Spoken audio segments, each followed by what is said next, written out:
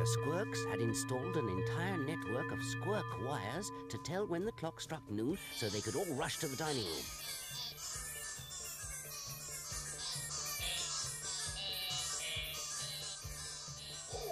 Here's how the Squirkick system worked.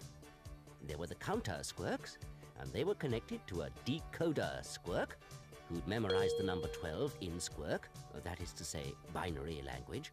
The counter squirks counted each chime of the clock, always in binary, and when the decoder squirk recognized the number 12, he squirked. He squirked, meaning that he sent electricity over the squirk wires, which lit up the squirk flashers and woke up all the squirks. Since most of the time they were resting in dark cupboards and drawers, they didn't know if it was day or night outside. So at first, when the clock struck midnight, the counter squirks counted, the decoder squirk squirked, the flashing squirks flashed, and all the squirks rushed into the dining room. Which was unfortunate for them, because at midnight there wasn't a bite to eat.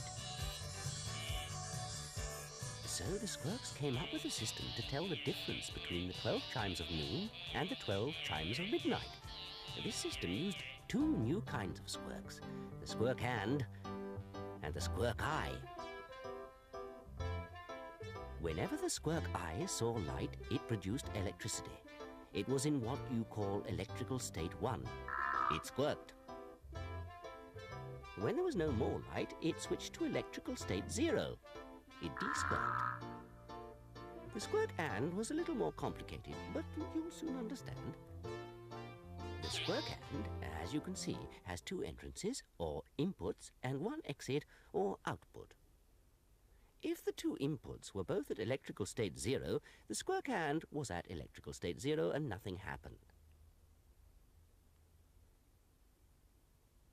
If only one input was at state one, the squirk and still stayed at state zero and nothing happened. For something to happen, both of the inputs had to be at state one. Then the squirk and switched to state one and its output produced electricity.